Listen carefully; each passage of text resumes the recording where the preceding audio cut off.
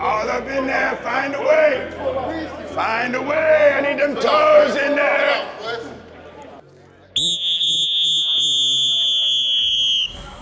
Here we go.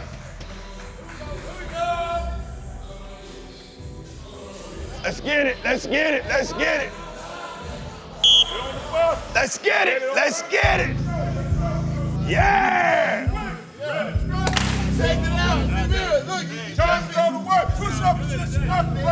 Here we go. So what we've done is we take the Coach Saban's fourth quarter program and we put in a lot of the character development, the mental conditioning for success, plus the strength and conditioning to make them unshakable, uh, bulletproof, so to speak, you know, and indestructible mindset so that when they go play, they're at their best.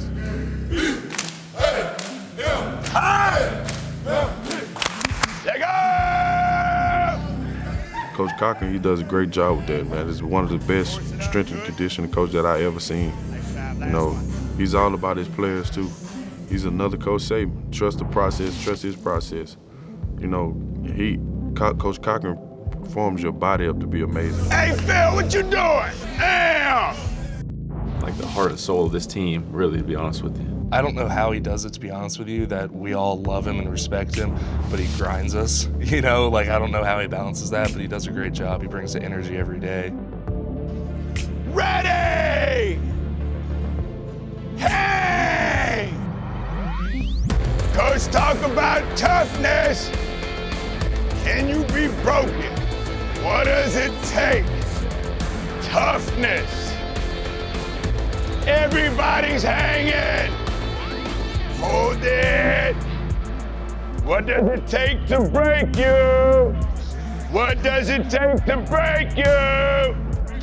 What does it take? Sum up training camp, kind of separate the men from the boys. I think it's just their time now.